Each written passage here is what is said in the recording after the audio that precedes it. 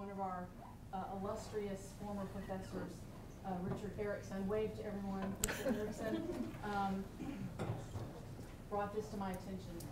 So I will just share with you uh, this picture, which, you know, there's one in every classroom, in all of our business classrooms, and there's one when you walk into the School of Business, right?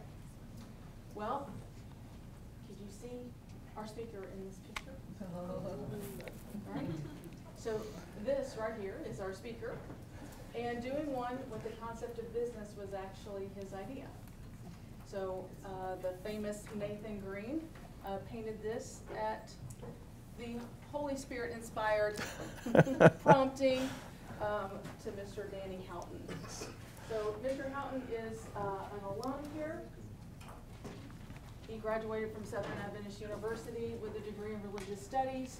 Uh, went immediately into business because those two go right, you know, always go hand in hand. And then he worked for a while and decided to get his MBA. He's currently the chief customer office at a large company based out of Canada.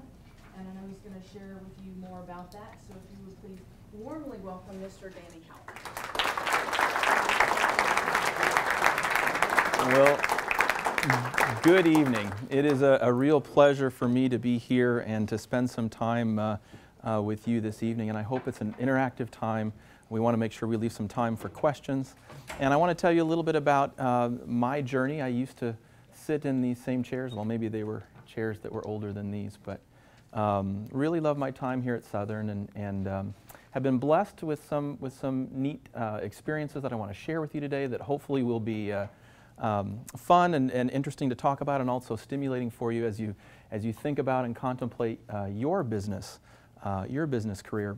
The focus of our presentation this evening is going to be entrepreneurship. Um, I'm going to share a number of, of kind of anecdotes and stories that are shared with, uh, you know, that are paired with biblical principles that I believe will be really, really helpful to you as you're looking at your own career, maybe whether it's starting a business or not, um, I think that these uh, principles will be very, very applicable to you. So um, what we're going to do tonight is, is talk about some top tips uh, for entrepreneurship uh, success. Uh, Stephanie had shared a little bit about me. Um, as I, this is my family, I, my beautiful wife Sandra and our son Andrew. He's 22 months old. Um, he's the one that kind of keeps me sane and allow me to, allows me to check out from work in the evenings when I come home. Um, as she shared, my, my undergraduate degree was not in business, actually. I had a minor in business, but I actually studied um, religion or religious studies, and then paired that with an MBA from the University of San Diego, our Catholic friends. Oh, I'm supposed to turn on the mic. I have two of them. You'd think I'd remember, right? Can you hear me now? Yeah. A little bit better? Thank you. So that's just a, a very brief uh, sketch about me. This is where I work uh, Silver Hills Bakery. Silver Hills Bakery is actually a company that is celebrating its 30th anniversary this year. Um, it consists of three different customer brands.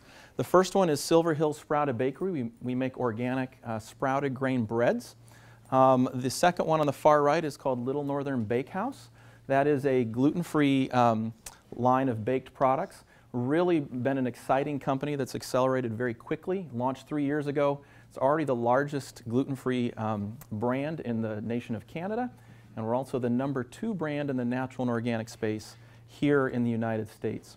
Um, One Degree Organic Foods is kind of our premium brand. That is a brand that I co-founded uh, with my partner and launched. Um, it is a very unique brand in that we, we actually allow a customer on the shelf that picks up a box of our cereal or a loaf of our bread to meet the farmer that grew every single uh, ingredient in any product that we sell. That's the reason for the name. One degree of separation between the farmer and the customer. Um, and um, I'll, I'll, share a little bit more about this company and then, then we'll jump in. I actually helped build uh, or oversaw the building of a with a number of, of programmers of a, a, special custom software product that allows you to scan a QR code on any box of cereal or any product we have and pull up a profile that matches the ingredient deck. So if you look at any ingredient in any uh, of our products, you can click on it. You can see here where it says like whole oats and the name of the farmer. And you'll be able to watch a 30 to 45 second video or look at a photo essay to meet the farmer that grew your food. And the concept is, is to kind of shrink and, uh, and allow people to know who grew their food, how they grew it, and be able to say, yeah, that, that's, I subscribe to the way that they grow their food and I'll put that in my body. Basically allowing people to, to make healthy choices for what they put in their body. So we try and make it super easy. If you have a, you know, a QR code scanner on your smartphone, you can do that. And so that was really the, the, the company that I co-founded and launched, and you'll hear me tell a, a couple of anecdotal stories about it. So one of the privileges of founding this company was the travel that came with it. How many of you like to travel? So founding this company has allowed me to travel now, I'm actually on my 50th country.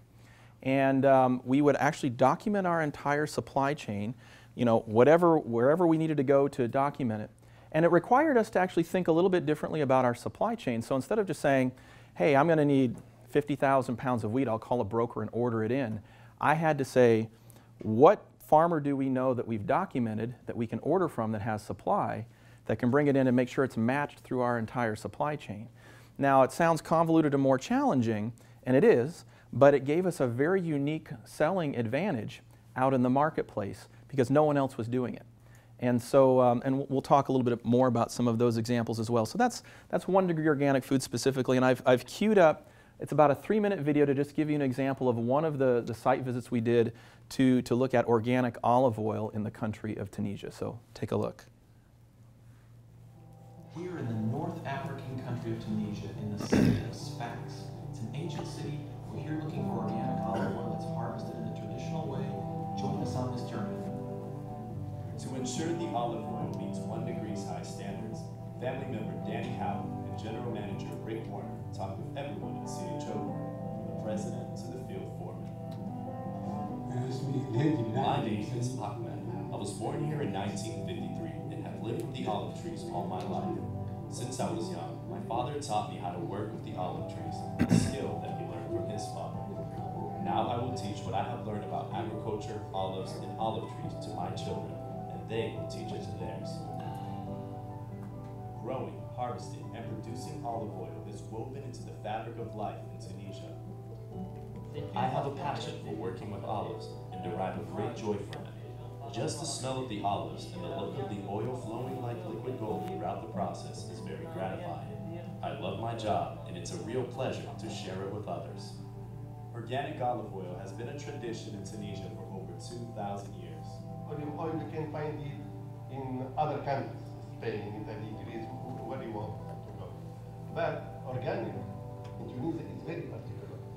Do you know that Tunisia, we have sun during 310 days per year. There is uh, no insect because it is dry weather. If there is no insect, we don't need insecticide or pesticide. When the consumer takes this part, means there is Tunisian love You can find it here. You, you can find the, the good weather. Uh, our sun, believe me, in all the world, you can never find sun like in Tunisia. And when, when you take this one, you, you can think about Tunisia in your uh, assiette. When you put olive oil in the delicious dishes, that means that we have all uh, positive things in Tunisia in your dish. All what we have is the sun, and olive oil and some dates. This is Tunisia. And we have big heart also. Tunisia's long-standing tradition of olive oil was a joy to witness and very much in line with One Degree's commitment to clean foods. We are proud to use this organic olive oil in our products. So that just gives you a sense. Now that's a, a longer form one that we, uh, that we have on our website. We have little 30 second clips that you can see on your phone and that's an example of one of the ingredients we have. Actually, they sell their olive oil in Costco. So if you ever buy an olive oil, check out in Costco. It's, it's, it's phenomenal um, olive oil. So that just gives you a flavor of, of the, the, the one degree organic foods um, uh, company. What I want to do now is I want to pivot and I want to talk about a couple of very, very specific principles that I believe are going to be very, very helpful to you, whether you're just in business or you're more interested in entrepreneurship and starting your own your own business. And the first one I want to talk about is, is preparation. And I love this quote Success is where preparation and opportunity meet by Bobby Unser. And I want to, I want to start by telling you a little bit story, a, a little story about how we started One Degree Organic Foods. Um, we took a year and a half before we ever sold a product to build the software that allows us to, to share the transparency um, that we offer to our customers. So we went through extensive you know, visioning, storyboarding, building out the software, bug testing it, getting it done, year and a half. We took another six months to actually go out and film all of the farmers that were going to make up the core group of, of ingredients for our first set of products. Then we had to go through a process of innovation to actually make the products themselves and rush that all in a time frame for a launch for, for the largest um, food company uh, show that we have nationally every year. It's in Anaheim, California, it's in March. And so we had this huge focus of doing all this stuff. It took us almost two years before we could ever show a product for the first time to a customer. So we went through this tremendous amount of work. We rented this little booth, showed our products for the first time, had the QR code there, we tested it, and we were open for business. 15 minutes into the show, I had a show organizer stop by and she said, I'm looking for new things. Show me what you have. And because of all that work we had done, I was able to pick up my phone and scan it and say, Look at this. And show her that. And she said, I've never seen anybody that has done something like this before. And she says, Hold on a second, I'm going to send somebody else to come see this. And before you knew it, I had a stream of people from the, from the organization that was putting on the show that wanted to see what we were doing. And so I very patiently showed all of them. I thought, this is, this is kind of cool.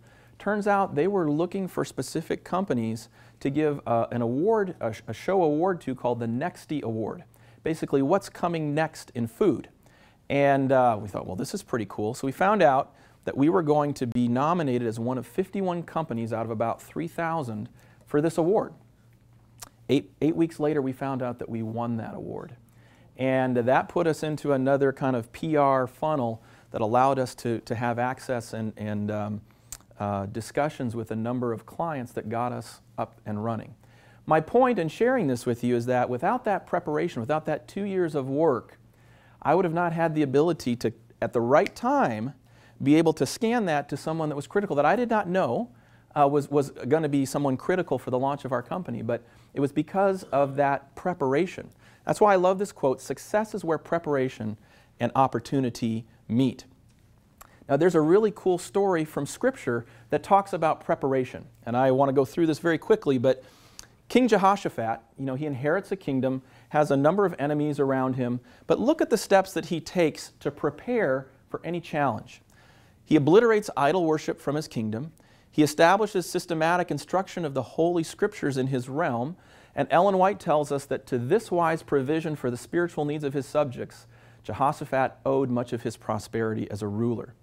He sets up judges through his kingdom, so if you have an issue with your neighbor, you need to have something fixed, you know, and there's a court of appeals that goes with that.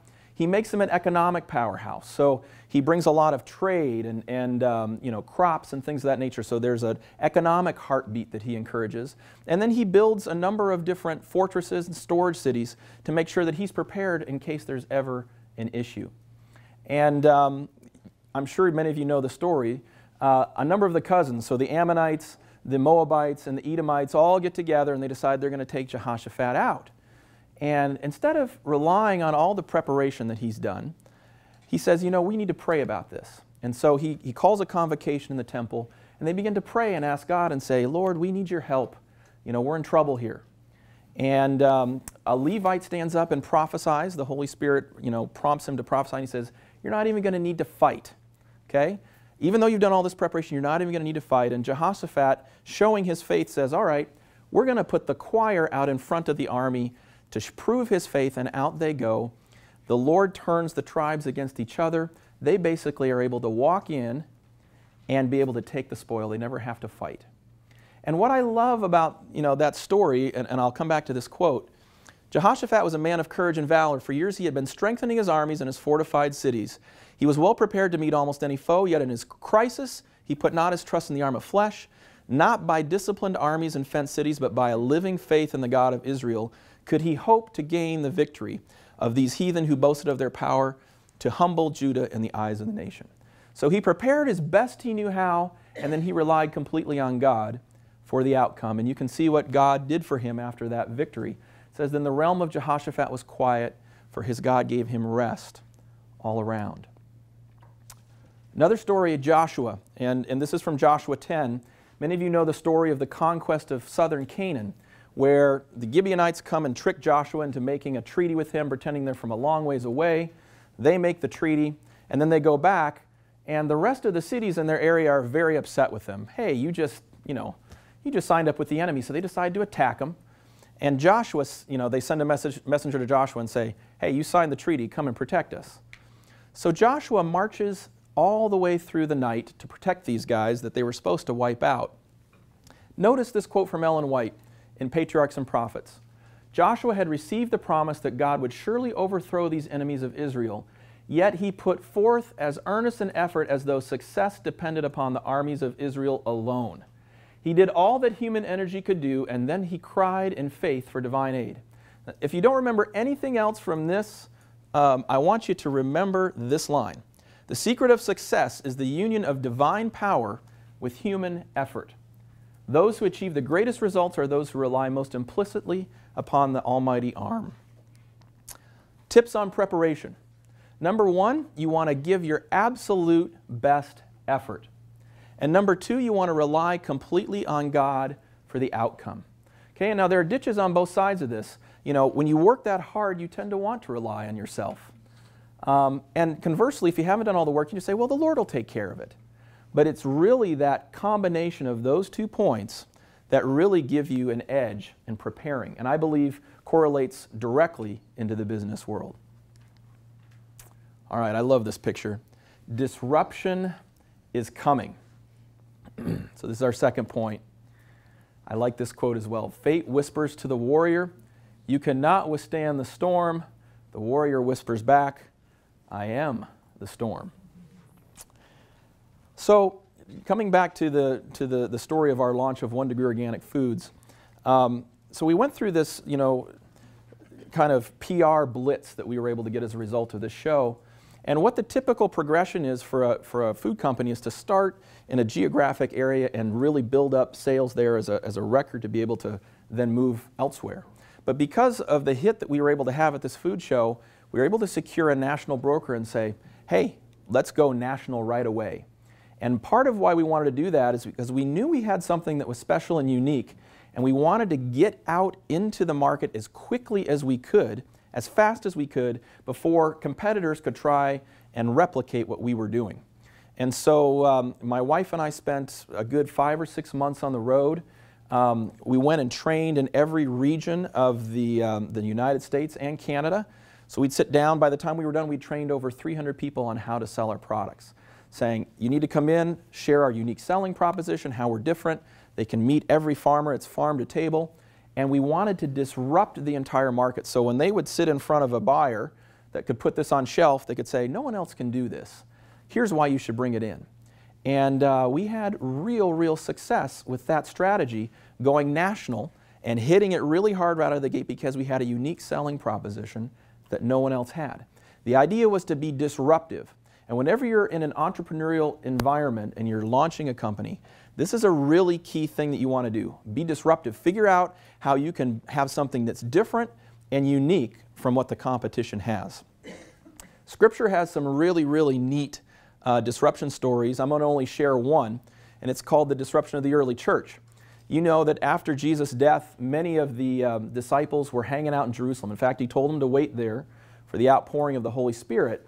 But um, all of a sudden, they found themselves scattered or disrupted. Coming from Acts 8 3 to 4, it says, As for Saul, he made havoc of the church, entering every house and dragging off men and women, committing them to prison.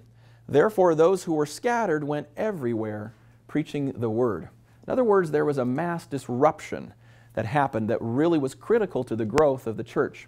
Notice what Ellen White says here from Acts of the Apostles, page 105. Forgetting that strength to resist evil is best gained by aggressive service, they began to think that they had no work so important as that of shielding the church in Jerusalem from the attacks of the enemy. Notice that it's a defensive posture. You know, in an entrepreneurial environment, you want to always be on the attack or be on the offensive to create some change or disruption. But look what, look what the Lord does. To scatter his representatives abroad where they could work for others, God permitted persecution to come upon them. Driven from Jerusalem, the believers went everywhere preaching the word. So you see the principle here of disruption. We know how the early church grew. It grew very, very rapidly as a result of this initial disruption. So this is something that um, is a real key part of an entrepreneurial venture, an entrepreneurial launch. And uh, we see scripture backing up that, uh, that specific uh, strategy. So tips on disruption. Identify the space where your unique selling proposition, what makes you special as a company, provides the highest disruption potential. And number two, push as hard as you can to maximize your window of opportunity. So once you create that unique thing, whatever that thing may be, man, hit it as hard as you can and create your advantage because there's always somebody else behind you trying to catch you. Okay? Good decisions. I like this slide because how do we know which fork is, it's, it's going to take? Do we know? Is it going to be Brexit or is the EU going to stay together? Come on, guys, talk about the 10 toes. It's, it, we, we know that the EU is not going to stay together from Bible prophecy, right? So look at this quote It is in your moments of decision that your destiny is shaped. So, jumping back into the, the trajectory of our company's growth, I've gone through this huge training regimen. We trained all of these brokers. We've been able to secure a lot of national space where we were able to put our products up on shelf. And um, all of a sudden, we'd done all this hard work, and now I realized I had to manage this massive group of 300 people to make sure they were doing the right thing. And I had not had a historical background in food, and I very quickly realized that I needed to figure out another way to handle this because it was too big for me. Well, the Lord was very kind to connect me with someone, um, a former vice president of General Mills. If you guys have ever heard of Cheerios, um, they make Cheerios, but he was responsible, had been a vice president to, to actually sell all of their organic brands, and they had about 20 of them. But he left and started his own company. Um, it was a sale, a contract sales organization that both did field sales on your behalf and would also give you business intelligence and, and data analysis and help you figure out how to best pitch and, and have a strategic component that you could bring into play. And they helped you manage that broker process. And, and looking back at, at um, the trajectory of our company's growth and looking at the decisions that were made, this was probably one of the best decisions um, that we made corporately as a group to say, we're going to hire these guys. And they really helped provide a major, they brought a sophistication and a strategy that we didn't have as a, as a growing organization to help us continue to fuel um, our growth. And so that, that decision, when you look back at that, you say, you know, Lord, thank you for that opportunity. And then again, continue to work as hard as you can as you engage this new, this new resource um, uh, to help you. So, just, just talking a little bit about how uh, Scripture kind of underscores the need to make good decisions. King David had just gone through a seven year process of waiting for, for King Saul and the, the question over who was going to be king to be resolved by the Lord. Saul had died in battle, and all the tribes of Israel are sending all of their troops to inaugurate the king. And if you look at this in Scripture, I actually wrote it down here if you can see it have all of these different troop levels that each one are sending, and they're kind of like, yeah, we're sending these these many troops, and you know the bigger tribes are saying, yeah, we you know Ephraim has twenty thousand eight hundred, and so it's all this, hey, we're going to be supporting the king, and look how much we're supporting. But whenever you're looking at data, it's always interesting to look at the outlier, and the outlier here is the sons of Issachar. You notice the number? It's only two hundred. It's a little bit counter to what everyone else is doing. Look at 1 Chronicles 12:32 and of the children of Issachar which were men that had understanding of the times to know what Israel ought to do the heads of them were 200 and all their brethren were at their command. So these guys are saying rather than send our brawn down here we're going to send the guys that are strategic. They have command of our troops. We'll send them whenever we need. But these are the guys when you're going into battle or you have a question of whether we should be going into battle or not, these guys understand how to give really, really good counsel. Bible commentary says these men of Issachar were men who had wisdom to understand the meaning of current events and were able to provide intelligent counsel. So, when you're making good decisions, you want to be able to read what's going on around you, understand um, your marketplace, and be able to make informed and intelligent uh, decisions. So another case study, this, this Knew the Times, when you look at the Hebrew, um, we have the story of, of King Ahasuerus and, and Vashti, and many of you know he asked her to come in and dance. She wasn't very excited about coming in to dance and said, I'm not coming. And uh, basically, it caused a crisis in the empire because she had not obeyed her husband. And so we see the king looking and saying, Hey, I need to have some counsel on how I should respond to this. And you can see, it says, The king was very wroth, and his anger burned in him. Then the king said to the wise men which knew the times, okay, that's the same phrase, What should we do? Uh, according to Queen Vashti, according to the law, because she's not performed the commandment of the king. So in both of these cases, you see that there is a group of of people that are counselors that are going to give um, advice that's proper. You can see Bible commentary says, referring to these men, these are persons of learning and experience who are acquainted with precedents and knew what the proper thing would be to do on any particular occasion. Now, sometimes when you're launching your own business, you face a situation you don't know what to do. And so you have to figure out a way, you know, in, in entrepreneurship we call it your gut. You know, how, what's your gut telling you? How do you define your gut? How do you get these data points to help you know what you're doing? How do you talk to other people that have done it before you? You know, you want to have the ability to educate yourself on current events and trends in your business sector, so understand what's happening. Utilize Scripture as your precedent, which we're seeing here, and combine those two to properly frame a decision and provide intelligent counsel. Make a good decision. Super, super important because unwinding a bad decision can be a lot more work than making the right one. Right? Okay, I got to get a drink of water quick here, sorry.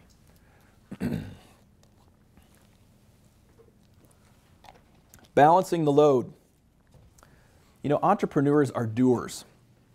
And uh, jumping back into the, the launch of our company, um, you know, I'd gotten this, this sales group in place that were starting to help us sell some more. Um, we were doing these trips going out and documenting these farmers. We're also attending trade shows. I'm going on key customer calls still. There was one point where one year I was on the road 274 days. I hope I never have to do that again as long as I live. It was crazy. But um, I began to realize that if we were going to be successful, I couldn't do all this by myself. And we needed to put some structures in place that would help us with that. Albert Einstein said, Life is like riding a bicycle. To keep your balance, you must keep moving. So I knew we had to keep moving, and I was the one that was trying to provide all this impetus. But I, I began to realize that this was not something that I could do by myself, and we needed to in, you know, engage some other people, whether it was an R&D team, a business development team of our own, additional salespeople, just to make sure we could spread the load, have some other people that could do some of these trips overseas, because I wasn't able to keep up. And so in an entrepreneurial role, usually the founder is the one that wears a ton of different hats and is ultimately responsible for everything. But as you have the ability to spread the load, you need to think very, very carefully about doing that. One of the things that I like to do um, in the mornings is to actually exercise, and I listen to um, uh, the Bible uh, on audio as I'm walking or running, as well as the Spirit of Prophecy. And I came to the books of Ezra and Nehemiah. And you know, when you're reading the book and you read all of these lists of guys, you can kind of skip over them, but it's, it's a little bit tougher to do it in 30 second increments. And I remember thinking, should I be listening to all these begats? And I thought, you know what? It's scripture. I'm just going to listen to it. And as I came to the point where Nehemiah was beginning to build the city of Jerusalem, I found a really interesting pattern that I want to share with you that I think illustrates this spreading the load uh, very well. As you know, Nehemiah was charged uh, by, by the king of Persia to rebuild Jerusalem. Now, if you think about rebuilding a, a you know, a, a, city today, imagine the complexity of that today. Now go back you know, thousands of years and think about how do you do this? It's a massive job. But look at what he does here. I found this very interesting. So when you look at all the people that he talks about helping him, look at these different groups that he went out and recruited. Local government, and I'm not going to read all of them, but you can see them there. So mayors of different towns, the surrounding cities, city of Jericho, the Tekoa, you know, the men of Gideon and Mizpah, the clergy, so he gets the high priest, he gets the Levites, uh, the Nethinim and other, other priests. Then he goes to the business people, okay, goldsmiths, perfumers, merchants. And then what I like, in front of the house guys, basically these are guys that are there that have built their own house and, hey, we need a wall too. He says, hey, you need, you need to help us as well. And they even had women. So there was this guy that didn't have any sons, only had daughters. He recruits them as well, and they're all engaged in helping build the wall around the city of Jericho. So he has this huge task he has to do. He says, I can't do this by myself. I'm going to go out and recruit all these different people to help me keep moving this task forward. Now, what's interesting, you know, the, the existing uh, leadership did not want him to succeed, okay? And that's similar to, to what you'll find in an entrepreneurial venture. There are people that have established businesses that don't want you to succeed. You're taking share from them. But you've got to stay focused and you've got to stay on the job. So here we see him, you know, mentioning that, hey, these guys are coming and saying, come now, let us meet together. Basically, come down and lose that momentum that you've been able to create with all these groups of people. And what is Nehemiah's response? I'm doing a great work. I cannot come down. Why should the work cease while I leave it and go down to you? Nehemiah 6:3. They tried this four times. Finally, you know, Nehemiah's sticking the course. They send an open letter that says, hey, you're going to rebel from the king and set up your own kingdom, which is designed to force him to stop. And even still, he doesn't stop, and he gets that he gets that, um, you know, that wall built. I think it was 52 days. They got it done and closed. So he was able to accomplish the task that he was able to, uh, you know, that he was focused on doing. So tips on balancing the load, okay? Recruit and motivate a broad and multidisciplinary group to support the load, okay? Really, really important. People that you trust, people that are good at what they do, and don't stop until the work is complete. You'll lose your momentum, and um, uh, you don't want to do that. So balancing the load. Candor is queen. Okay? I like this quote. Candor isn't cruel. It does not destroy. On the contrary, any successful feedback system is built on empathy, on the idea that we are all in this together. I got a frantic call from one of my employees saying, We're in trouble. Our largest client um, in the United States, a very big client of ours, we make product for them under their label rather than ours, had just called and said, hey, um, you made a mistake, a packaging mistake. Um, you put one product that's supposed to be in a certain bag in another bag. And so we went and did some research. We have cameras on our work lines, and we realized that one of our workers had taken some, uh, had not followed protocol and cleaned out the packaging that was automated. Um, and we had run another product on top of it without cleaning it off, and somehow the bags had gotten mixed. And from our judgment on it, we thought it was somewhere around 20 cases, which, you know, a couple hundred dollars maybe at most. But our QA team had come back to us and said, we have a real problem because the bag that it went into has a different ingredient deck, and there's an undeclared allergen in that bag that could kill somebody that has a severe allergen to it. And said, what do you want to do? And so we, we sat down and we talked about it as a leadership team, and we realized that there were some real challenges. We had to do the right thing, but, but it was a private label product, so no one else knew who this account was serviced by. So we were going to have to declare that it was us. We were going to have to do a voluntary FDA recall, which we had never done as a company before. And that was going to involve spending a huge amount of money to bring all the product back and destroy it, create new product. There was going to be a gap for the, for the retailer of probably at least three to four weeks, and they were going to lose millions of dollars in sales as well. And we said, well, we need to do this. So we got on the phone, and, and um, I, I, was there with our chief operating officer. We kind of camped in our, in our um, boardroom for two weeks to oversee this. That's all we did. And uh, we, we called up our, our customer and said, look, here's the deal.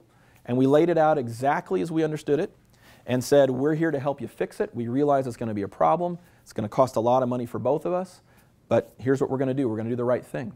And so we worked through that process together. We wanted them to know that we valued their clients. We did not want to put them in a situation uh, where they might have a, you know, somebody that eats one of these things that has an allergic reaction. It's a real problem. And it took us the full two weeks, and it was a seven figure cost to, to actually go through this recall. But we, we decided we're going to be open, we're going to be transparent. We wanted them to understand um, that we were partners with them and we were going to do what we could to take care of it. And you know, after we got done with that process, um, the, the vice president of that division called me up and he said, You know, you guys have been wonderful to work with through this. We appreciate your partnership, and we want you to know it's going to be solid as can be moving forward. Because we did the right thing, um, and they realized we were a team player, that we didn't beat around the bush. We told them straight how it was. It ended up being an advantage for us, even though it was a huge hit uh, to the bottom line. We see several cases of candor in Scripture. And the one that I want to draw your attention to is the story of David and Nathan. Um, Nathan the prophet was actually someone who was very close to David. Uh, when David decided he wanted to build the sanctuary, he said to Nathan, Do you think the Lord uh, would allow me to do this? And Nathan says, Yep, I think you should do it. Um, that night, the Lord comes to him and says, You shouldn't have told David that. Go back and tell him he's not going to be the one to build it, but his son will. So Nathan, at different times, wasn't always very direct and, and saying, Hey, you know, need to have some candor on this. But in this specific case, David goes in and he takes the wife of one of his soldiers, Bathsheba. He actually kills her husband and then takes her as his wife. And Nathan goes in and he tells a story to, to illustrate a point to the king, and he's very, very direct in what he says. And I want you to notice this. He finishes telling the story about these sheep and the, the rich man taking a, you know, a sheep from the poor man who only has one. It says, Then Nathan said to David, You are the man. Now, that may not sound like a big deal, but remember, David is the most powerful king in this realm. There's not a more powerful man you can be talking to. And uh, he goes in there unflinchingly and says, You're the man.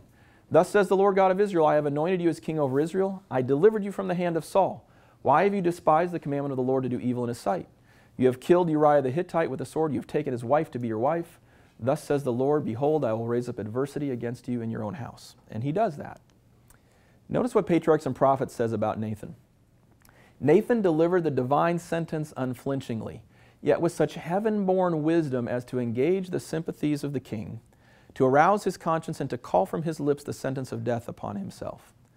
So he does this in such an artful way, uses a story to illustrate it, but, but doesn't mince words and comes right to the point, shows candor in his exchange back and forth with the most powerful man in the kingdom. So, tips on candor. You want to seek the truth. This is one of the things we talk about in our organization. We don't care if it's bad news. We want to know what the truth is so we can accurately diagnose it. Please share with us exactly what any issues may be. Number two, speak plainly and directly. Don't beat around the bush. Come to the point, say exactly what the issue may be. And then, number three, most importantly, create a spirit of working together to fix the problem. My favorite, choosing right words. You know, one of the things that um, is a real challenge in the world of food is, is pitching to these retailers that have the ability to give you space on the shelf or not. And it's a, it's a very, very dynamic environment. Many times you'll walk in and they'll tell you, you've got an hour um, to present. And so you create a, you know, a huge presentation like this. And then when you walk in, they're like, sorry, we're running behind today. We had a bunch of people. You got 10 minutes. Pull it together. Um, other times you'll be able to walk in and, and you're given a part and you don't know what's coming before or behind. So you have to have the ability to adjust and adapt on the spot, read the situation, understand what the buyer is trying to do, and try to adapt and use your time as efficiently as you can. Um, I had the privilege of talking to a Costco buyer from Northern California once to pitch one of our one degree products. One of the toughest exchanges I've ever had as a salesman.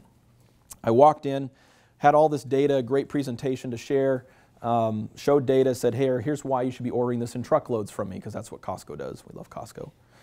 Um, and so I lay all this out, and she looks at me and she says, I don't think your product's going to sell.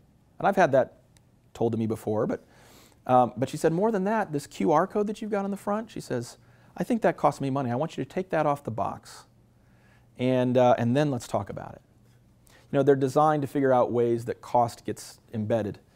And so, you know, I, I gently ab- absorbed her, whatever you want to call it, feedback, and just kept on, you know, selling. And she came back in. She hit me again. Hey, get that off the box, then maybe we can talk. And so, you know, I, I decided at that point, you know, this is this is a rude enough thing. I, I need to stand up and defend my product. And so I said, you know, what, what you're saying to me is very offensive because you're, you're actually taking the unique selling proposition and the value that I put in this product and telling me it's not worth anything. And I said, all I can tell you is, is that we've had a lot of clients that resonate with this idea of, of, of farm to table. I really believe it would work very well for you, but we're not going to be taking it off the box. And if you don't buy this, uh, you're going to be losing sales. And she was very abrupt. She said, thank you. Out the door, almost rude. And out the door I went and I thought, you know, I'm not getting anything from this one. And it was an important one. It was a critical one, a critical time. Strangely enough, three weeks later, POs show up for three truckloads of our product. She never called, never had any other questions. But the fact that I defended what the value of our product was impressed her, even though she pressed me the way she did. And it was only, I, I believe it was only because I defended that that she was willing to, uh, to give us a shot. And we did very, very well in that, in that, um, that Costco region. So,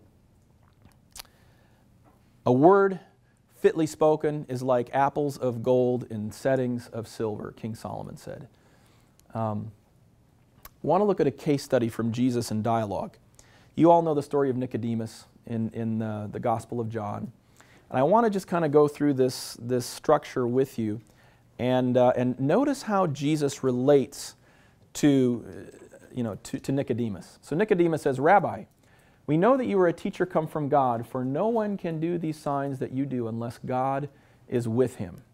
Now, notice what Ellen White says this phrase was designed to, to kind of engender. His words were designed to express and invite confidence, but they really expressed unbelief. So, how does Jesus respond? Instead of recognizing the salutation, he came directly to the point. So he doesn't sit for this nice back and forth feel good thing, but Jesus says, Hey, most assuredly I say to you, unless one is born again, he cannot see the kingdom of God. So he cuts straight to the point, almost like a razor, and says, We're not going to do this back and forth thing. You really need to understand who I am, and let me walk you through how that is. And sometimes in business, you got to kind of cut through the red tape and you got to say, Look, you know, we're over here, but we need to be in this vein of discussion. And you need to bring the entire group there to do that. Okay? But you have to have a level of emotional intelligence to know when exactly to do that. Now let's look at a, another case, again, of Jesus in dialogue that's different. Okay? And, and I wanted to show the contrast here. And this is, this is after Jesus' resurrection. This is in Acts chapter 1 and um, his disciples are coming to him. This is right before he is resur- he's not resurrected, but he's uh, ascending into heaven. And he says, Therefore, when they had come together, this is the disciples, they asked him, saying, Lord, will you at this time restore the kingdom to Israel? Now, if you read anything about Jesus in his three and a half years with the disciples, you know that he's constantly trying to tell them. He, in fact, he point blank says, My kingdom is not of this world. The whole point all along is there's a different frame we're looking at here. And, you know, if this was a business case, you'd probably want to shake these guys and say, What's wrong with you? Why don't you understand this? And, you know, Jesus had every right probably to do that. But notice his response. Jesus doesn't confirm or deny, he absorbs and he redirects. What does he say? Jesus said, It is not for you to know times or seasons which the Father has put in his own authority, but you shall receive power when the Holy Spirit has come upon you, and you shall be witnesses to me in Jerusalem and in all Judea and Samaria and to the end of the earth. So rather than trying to focus and answer their question in a temporal way, or say, come on, guys, get with the program here, understand what I'm trying to do, he absorbs it and he redirects their focus. Okay? Master tactician in understanding how to use words and to redirect the uh, attention to where it needs to be. Jesus is the very, very best at doing that. So, tips on choosing right words. Study how to answer. Proverbs 15:28 tells us that. Learn to read the situation and the people that you are engaging. This is such a key piece of business. You know, walking into a room, understanding who the people are that are the decision makers, reading nuance, listen to what people are saying, really really important to listen. Listen how they're saying it because that'll give you a sense of what exactly is happening. And then and then determine your response. Do you need to come back at them directly? Do you need to kind of have an indirect discussion and redirect them to a more effective line of discussion or, or thought, whatever the case may be? But this probably, from a business perspective, can be as valuable to you as, as anything you know, that we talk about. Understanding what people need, how to relate to them, and to move things along in a way that's, that's advantageous both for you and for them. Okay? We've zipped through these. We've got 15 minutes left for questions. Um, hopefully, I didn't go too fast, but uh, hopefully, this has been something that's been valuable for you, and I'm happy to answer any questions that you may have. Yes? Thank you for sharing about one degree. Um, it seems like you are ahead of the curve in terms of sustainable development. Um, it's a huge trend for consumers, and it's, it's the ruling bodies like the UN talk about it. Um, so, because you've been so ahead as a pioneer, what advice would you give us as future entrepreneurs, or what would you say is rewarding about this outside of the fact that it's a trend? um, or something that like ruling bodies like the United Nations says we should do in terms of sustainable, ethical sourcing and such? Well, I think it's wonderful anytime you know, a body will give you direction like the UN or whatever the case may be that says well, this is the way we think it's going. But what we really try and focus on is to say, what is the consumer demanding? What is the consumer interested in? Because at the end of the day in business, you know, consumers are voting with their dollars. Either they're giving you the empowerment to continue doing what they're doing or they're buying somebody else and they're empowering them.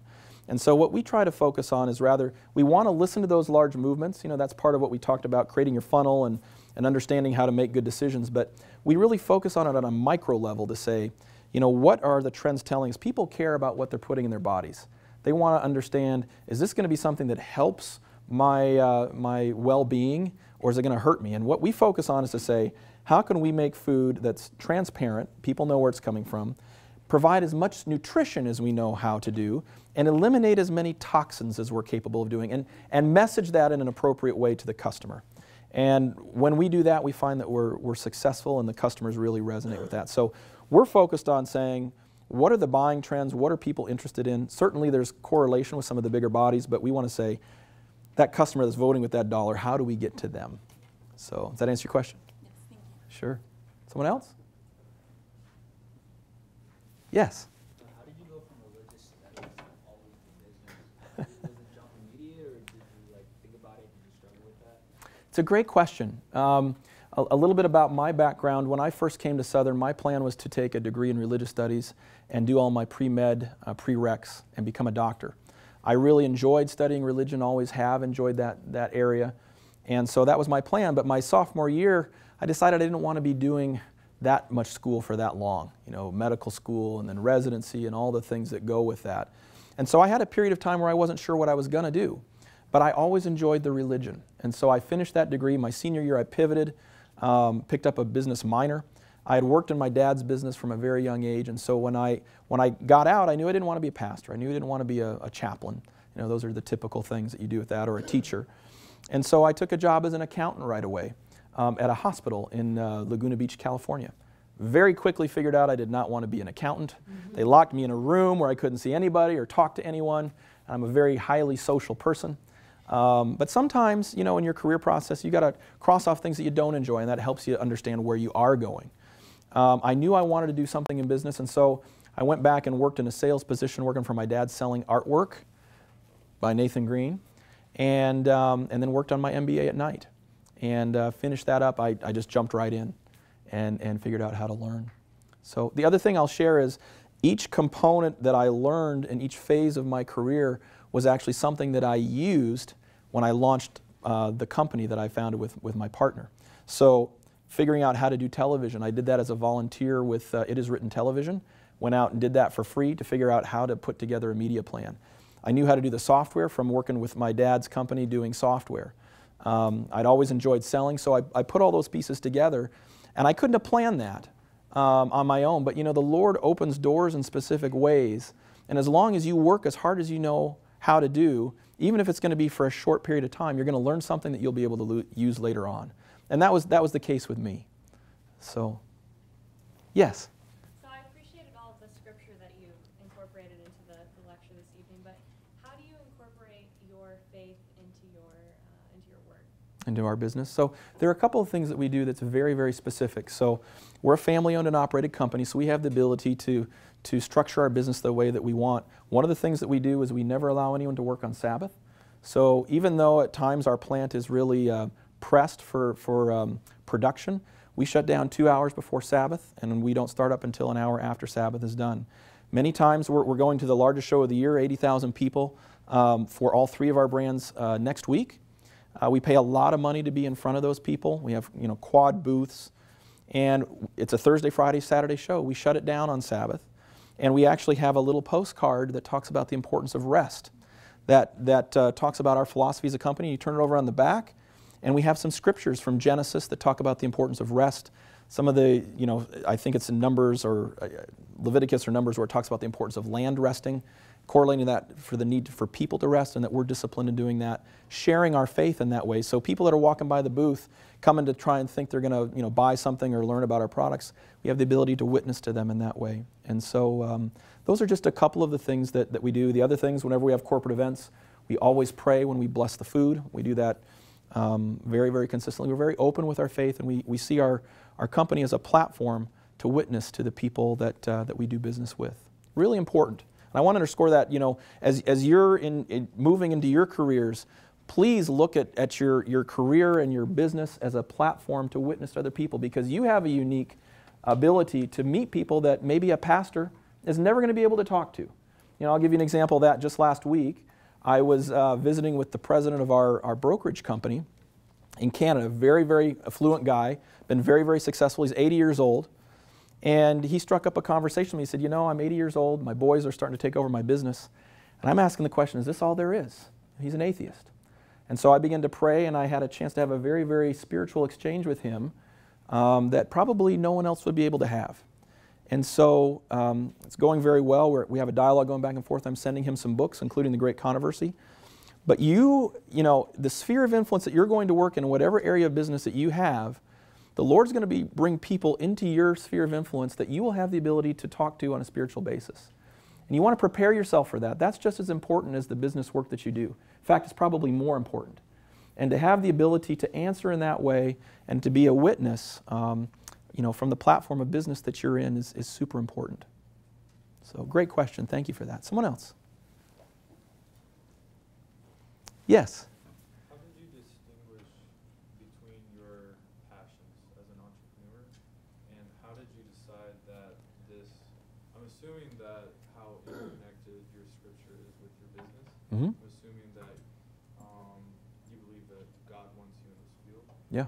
How did you decide on which passion to pursue as a, a whole career and a whole business? And then what are the, if any, what were the tell signs that God was with you in those? It's a great question. Um, you know, there's a story in Scripture about Gideon and a fleece, you know, where he asks, Hey, I want it to be wet with the ground dry, and then the next time I want it to be dry with the ground wet, you know, where you put out fleeces and you, and you ask the Lord as, as different situations present themselves. You look at it and you'll, you'll say a prayer and say, Lord, if this is a door you want to open, you know, make it clear. And, and in my case, you know, I had left the world of kind of the church work where I had done a lot of work, um, you know, with, with different denominations. I had a great network there. And moving to this food world, I had zero network, which for someone that's starting a company, you know, a network's really important. And so I just said, Lord, we're going to try this. And if, if it's your will, help me to connect with the right people. And um, I can look back and say, very specific in points in time, whenever we needed something specific, you know, a broker. The Lord brought us one of the best brokers for the natural channel, the organic and healthy food, a national broker exactly when we needed it. Exactly when I needed to have this sales organization, I met this VP from General Mills. So as we continued to grow, you know, we did all the work and we said, Lord, help us understand where we need to be going next. And every time we would do that, He would open a door and He would show us somebody else that we need to be connecting with. So, you know, you, you kind of put yourself in, in a position to say, Lord, show me where you want me to go. And, you know, if you ask Him that with a true heart, He'll, he'll show it to you. And, and He did that for me. So, there was a question back here. Oh, yeah. So as an entrepreneur, um, what factors or disciplines do you have when you um, decide what ideas are worth investing in? It's a really good question. Um, you ever seen the movie Shark Tank or the, the, tr- the show Shark Tank? Anyone like to watch that show? I love to watch that show. One of the things that you see them ask on a regular basis of all the people that are pitching their ideas, how much have you sold? How much have you sold? And, and that question really is Has the market validated your idea to a degree that we think that it can translate at the next level? And so, what you do is you try and figure out a way, an efficient way to test and see if your idea works or not. It's a proof of concept, right? Can we prove the proof of concept or the idea that we're trying to execute? And can you do that in an efficient way that shows results that will confirm that your idea is the right one to pursue? So, what I would say to you is, is figure out how to, to get a proof of concept. And what will happen is, by executing the proof of concept, you're going to get in the weeds. You're going to figure out how to do this. And you know, both the market feedback and your knowledge and space of what it is you're trying to do are going to give you the answer as to whether or not it's a good idea. Someone else? Got a couple minutes left? Yes. As a person in the business world, how would you know, like, if God closes the door for you, like, and you have to really put your faith into it? Has there been, like, a time, like, where you, God has closed the door and you really have to, like, trust in Him? I'm sure the answer to that is yes. Give me a second to think about it. Um, yes. Um, so, and this is kind of an interesting story, but um, we were pressing really hard to try and find an organic source of quinoa. And um, we were down in Argentina. We were documenting a couple of different ingredients. And um, I had this broker I was trying to work with. I said, we have to have this certain kind of spec. We were pushing really hard to try and get it for a launch of a product. So we flew straight from Argentina to Peru. And uh, we go up and we do this whole documentation. And while I'm filming, asking questions of the farmer through a translator in Spanish, I ask him a specific question about how he grows his crops. And um, he answers in, in a way that I know all the work that we've done, everything we've done to document it, come all this way, spend all this money, we're not going to be able to use them. And um, I thought, you know, Lord, maybe I was just pressing a little bit too hard on this one. We need to probably pack it back in and find another source. And so sometimes, you know, you, you can run into situations where you can press and, and maybe you skip something you don't realize and it kind of stops. And, and you just say, Lord, you know, open that door if you want me to go that direction, but if not, show me, you know, close the door but open the window. And so come back and say, all right, that didn't work. Let's, let's put it back together, bring this before the Lord again and say, what direction do we need to be going? So, does that answer your question? Yeah. Okay. Anyone else? Yes. What's your favorite book of the Bible? My favorite book of the Bible? Um, that's a tough one. I, I, really, I really enjoy the book of Joshua, and that might be a strange one. But when you talk about leadership, you look at the, the story of Joshua, he was a phenomenal leader, you know, and, and he had his ups and downs.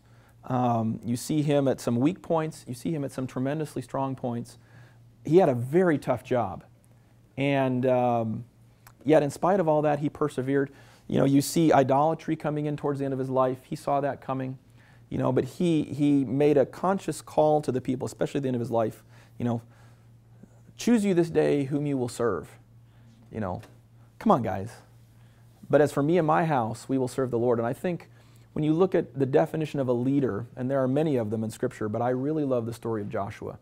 Um, he was a very active guy, he was a strategic guy, he knew how to put coalitions together, he was a man of action, um, but he relied really uh, strongly on the Lord. There would certainly be others, but Joshua's one of my favorites for sure.